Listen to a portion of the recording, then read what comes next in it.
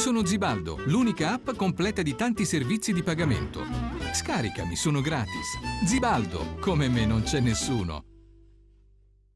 Il Teramo per la prima volta nella storia espugna il Massimino, batte il Catania per 1-0 con una grande prestazione, Paci rilancia in attacco Bombagi a supporto di Pinzauti e Piacentini in difesa per Trasciani. Il Diavolo ha un bel approccio con la gara, al quinto ci prova Pinzauti, in diagonale Mancino da posizione ravvicinata, blocca il portiere. Al quindicesimo ancora pericolosissimo il Teramo con Santoro, il destro viene ribattuto davanti alla porta da un difensore. Al ventesimo si fa vedere la squadra di Raffaele nell'unica mezza occasione del primo tempo con Dall'Oglio il tiro è centrale. Gli ospiti continuano a spingere, sfiorano il gol al ventottesimo con Diachite, il destro costringe Confente a deviare la sfera in corner e il preludio al vantaggio meritato che arriva al ventinovesimo. Bombagi serve la corrente Vitturini che con un gran tiro bacia i due pali e oltrepassa la linea di porta con il tocco finale del portiere. Il Teramo fa festa, il Catania accusa il colpo e prova a reagire con Albertini, il destro al volo respinto da Diachite. Nella ripresa Raffaele prova ad aumentare il potenziale offensivo nel tentativo di recuperare, inserendo Reginaldo al posto di Rosaia.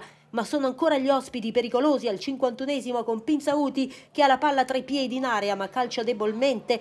I padroni di casa provano a scuotersi e danno il primo brivido alla difesa ospite al 55esimo con Pinto che si coordina la sfera di poco alta. Il Teramo controlla il risultato con personalità. Negli ultimi dieci minuti i locali provano l'assalto finale. All'82esimo Lewandowski esce a valanga sul Rossotto.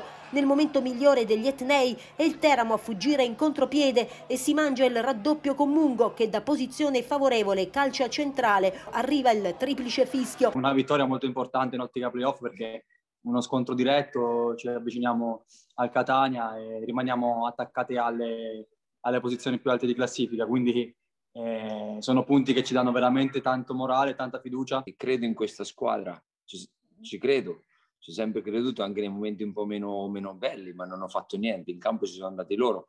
Sono molto molto contento perché, perché secondo me si meritavano questa soddisfazione anche se davanti a noi abbiamo un cammino ancora molto difficile. Mercoledì di nuovo in campo Albonolis contro la capolista Ternana alle 17.30.